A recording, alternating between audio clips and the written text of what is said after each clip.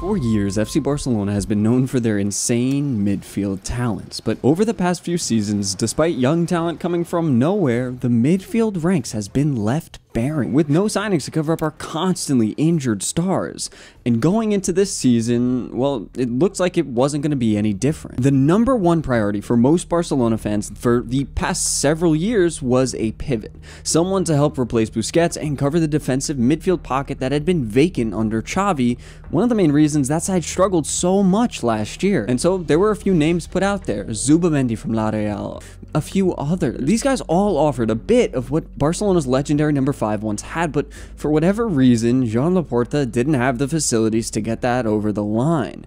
They had the money for some players, but just didn't want to sign a pivot for some reason. So backtracking to the first game of the season, our starting midfielders were Marc Casado, a 21-year-old from La Masia who didn't have a ton of expectations on his shoulders, was kind of looked at as Sergio Roberto 2.0, and Marc Bernal, a 17-year-old who had a lot of expectations around him, was expected to be kind of Sergio Busquets 2.0 for a very long time. He was that good. Bernal had the size, the athletic ability, and the footballing intelligence to occupy that role when the team needed him most under Hansi Flick in this side, and he looked to be able to do it immediate. I think from the start, it looked like he could do everything that we would have expected some of those younger guys that we would have signed for tens of millions of euros over the summer to do. So from the very start of the season, Marc Bernal was the guy that Hansi Flick trusted the most. He was going to get the most playing time in that pivot position, and it made sense. There honestly just weren't that many options because of the injuries to Gavi, Pedri, Frenkie de Jong, and then Christensen, with Eric Garcia backing him up and really being the only guy that could, in theory, play that profile. But Bernal was incredibly special in those those first few matches. Incredibly exciting, doing all the things that we've been asking from a player to do, and he did it at just 17 years old. That really wasn't that much of a surprise for the guys that actually watch Bernal in La Masia, that follow La Masia closely. Everyone knew Marc Bernal was really good. There was a lot of excitement around his name. He had the size at the time, but he just had the ability. He had more ex expectations than Pau Prim, an older version of a CDM in front of him in La Masia, and so it was only a matter of time for him to join. But would he be able to do it at 17 years old? Because that's a little bit optimistic, even if Cubarsí and Lamine had been able to do it before. But man, with that size and profile, it's pretty easy to make those comparisons to Busquets, and I understand why they did it as well, but he was more than that. Bernal apparently scored 280 goals in 281 appearances throughout his ranks in La Masia. That's an incredible mark for a guy who was supposedly touted as the next Busquets, and that's because he was a lot more than just a pivot. He has a great shot on him, one we saw in the first few matches, but that's not what we needed from him. We had guys who could score, who could create, and so we needed a body back there that could win balls back and maintain possession and help build up play, and Marc Bernal could do that just about as well as anyone else in this side at the time,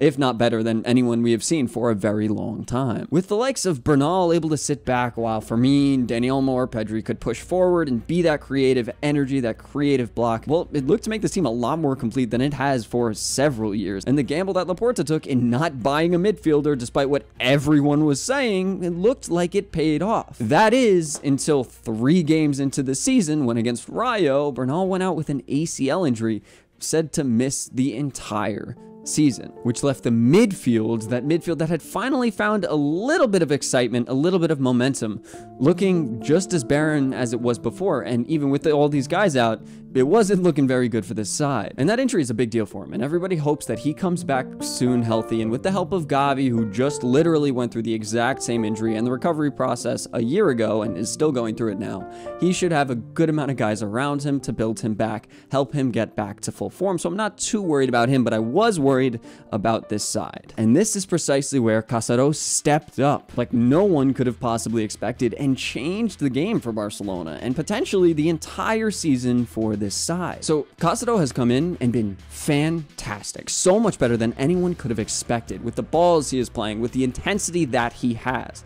He is so much more than just a Sergio Roberto 2.0 because he has an ability all over the pitch when Sergi was really at his best going forward and even there no one's giving him too many accolades for that. He might not have the build of Bernal or the long shot either, but he has so many aspects to his game that can really help this side. He's got a little bit of that fiery intensity that we've seen from Gavi and Fermin in the past, and that's really been something this team could rely on, especially with the high press that Hansi Flick's football needs. But before we answer the question really why I think this is allowed to happen, let's look a little bit more rationally at football here. A lot of games are coming up, a lot of things are exciting for us fans,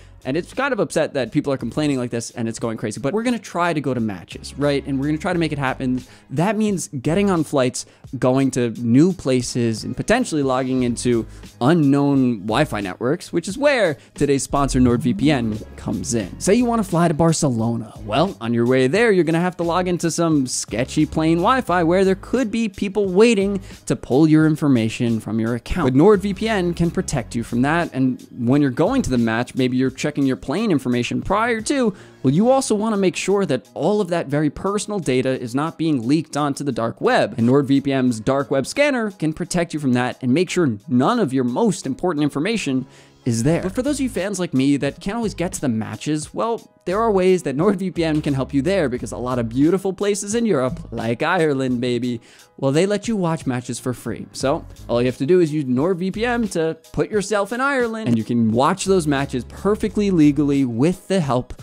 of NordVPN. But that's really just the beginning of the things that you can get to, the footballing beauty that you can get to with the help of NordVPN. So to help me out and more importantly, help yourself out, go to nordvpn.com slash RobbyLou and get a special offer and try it risk-free with their 30-day money-back guarantee. Thank you again to Nord for sponsoring this video, helping us football fans play football, watch football, and love football more.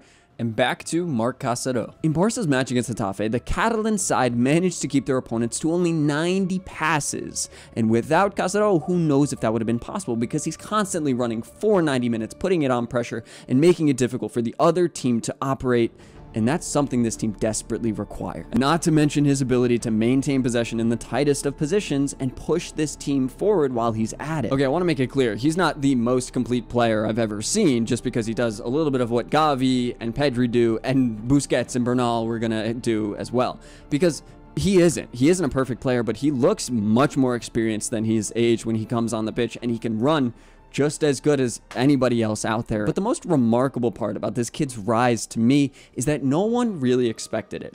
They knew he was okay, they knew he had some options, but coming out of La Masia, well, there weren't very many expectations on this kid's head. Last season, when Xavi was struggling trying to figure out what to do with the double pivot after Frenkie and Gavi went out injured, he basically ignored the midfielders from La Masia that could play there, especially Casado, even though he was 20 years old, which is older, I remind you, than Balde, Lamine, Cubarsí, Gavi, Pedri, all were Ansu Fati when they made their debuts for Barcelona and made major impacts for the side. He was older than them and still not expected to really help this team at all from Xavi. Instead, he chose to look elsewhere and try to convert center backs Christensen and Eric Garcia into defensive midfielders, which never really worked. Sure, they were okay at times, but not great, and they never were that convincing. And then there was Sergio Roberto there to take minutes in that same position when Gundogan wasn't convincing either. It was far from a clear-cut strategy from Xavi, and you know some talented La Masia players would have been nice to fix that. So it's clear he didn't think much of Casado at the time. But it's Sergio Roberto that I think most players expected Casado to be like. A lot of people were even questioning if Sergio Roberto should leave this season because they didn't think they would be able to replace him, right? They didn't think they'd have the depth in the middle to cover the positions that he played. And Casado, well, people didn't think very highly of him. Marc was always decent in La Masia, but he was never insanely special. He was never playing years above his age bracket. And so it was easy to underestimate him. And honestly, I did too. I didn't think very highly of him, even from the moments that I saw of him. I didn't think he was that special, but giving him the moments to play now under Hansi Flick, he looks incredible. This kid made his debut for Xavi in 2022, but has barely showed face for this side since So then. I don't think anyone really expected him to take up nearly as much of a role as he has so far this season. It's truly a miracle that guys like this are spawning at the times that Barcelona really needs it the most. Sure, it's not ideal, but when Iniesta went out a few years later, well, we cooked up a guy named Pedri. Rakitic left because he was too old. A few years later, we get Gavi. Alba's getting a little old. Here comes Balde. Piqué leaves. There's Cubarsí. And Casado is here when everybody is injured, nobody is around, and he's ready to fight and do the job wherever and whatever is asked from him. Sometimes he's able to move the ball like Pedri. Has a little bit of that La Pausa. He can manage the ball and move it forward in a very intelligent way to keep possession and keep this side going forward in a way that maybe Fermin doesn't even have at this time. He looks incredibly good on the ball a lot. That's not to say he's as good as Pedri in that space, and it's not to say he's as intense or as ball winning as Gavi is, but he has a little bit of all of this, and that makes him so important. Every so often, he can make a great long pass as well, pushing the team forward, creating a, you know, an assist to an assist, something like that to push this team forward, to help them create more goals, even though they don't really need any help with that right now. And that is so valuable in a midfielder to be able to do all of these positions, to be able to be the deepest midfielder, and then later in the game, move forward when you bring in Eric Garcia to support the back line, to hold up a win, and be that creative role a little bit in the middle as well. To manage all of those responsibilities and do it as well as Casado has done done for 90 minutes every match is invaluable, especially when nobody really expected much from him. Frenkie, Gavi, Fermin, and now Marc Bernal all went out injured. The guys that Hansi Flick could probably have used to rely upon in the middle, all of these guys, mostly with experience, with the exception of Bernal. So he had to go to, what, his fifth choice? And his fifth choice is looking insane. Easily a 30, 40 million euro midfielder if he were in the Premier League. This guy is so fun to watch and he's exciting and he does it right. And people just thought he was Sergio Roberto 2.0, but he's so much more than that. I'm really excited to see what Casado brings to this side because he's very good at football and he's fun to watch and he offers so much depth that who knows, he might even displace some of these guys coming back from injury when they are available because he's playing that well, he's that reliable, and to have more depth in the middle, something we haven't had in years, can see this side perform pretty well in multiple competitions, something the team hasn't done in a long, long time. So I'm excited to see this miracle of Marc Casado continue playing football, continue crushing it for the side, and help this side win more games.